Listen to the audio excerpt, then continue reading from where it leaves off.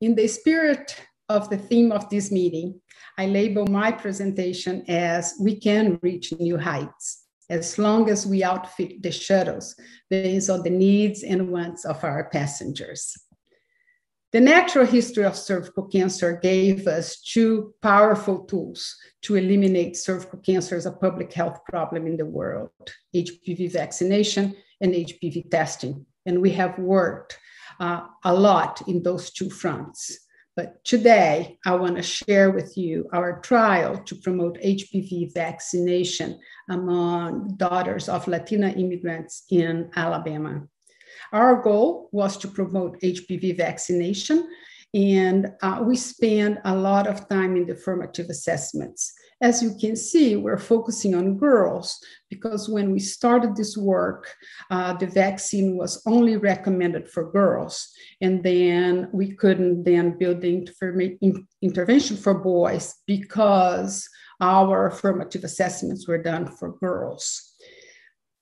But also, when we're doing the formative assessments, the community told us that they were very concerned about healthy eating uh, in the community, adapting to the new uh, eating habits in the new country. So, since we need a control group, we develop another intervention to promote healthy eating and nutrition label interpretation uh, as a control group. And it turns out that both interventions were efficacious, and I cite the publications here. The primary outcomes was uh, completion of first dose and completion of all three recommended doses uh, at the time.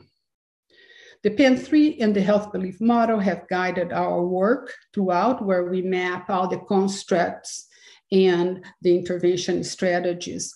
And also, we use the community health worker model, where we train community health workers to deliver the intervention in the community where the moms and daughters are because Latina immigrants here in Alabama are very isolated. They don't drive and they're monolingual. We did the sessions where they live. So we the clusters were the apartment complex or the trailers where we form groups of women. They sometimes we met, met in somebody's house or we have a tent with chairs that we met outside. And the intervention consisted of four group sessions and one individual session. And as you can see, we focus a lot on the culture, but also intertwine uh, knowledge as well as skills that were, need, were needed for them to vaccinate their daughters, like communication skills as well as problem solving skills.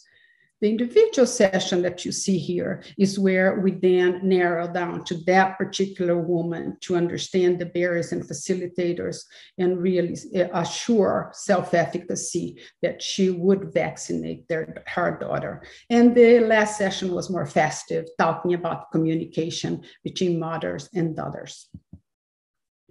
This is the consort diagram. I just want to call attention to our retention. That was over 90% in both groups, and that uh, our analysis, what we use intention to treat. This is our results.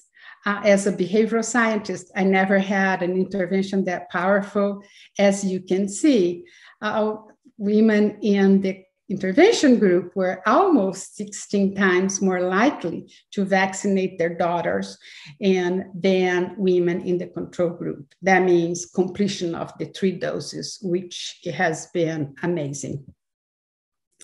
In conclusion, we have shown that a community engaged theory driven, culturally relevant intervention can effectively promote vaccination among daughters of Latina immigrants in an emerging Latinx state.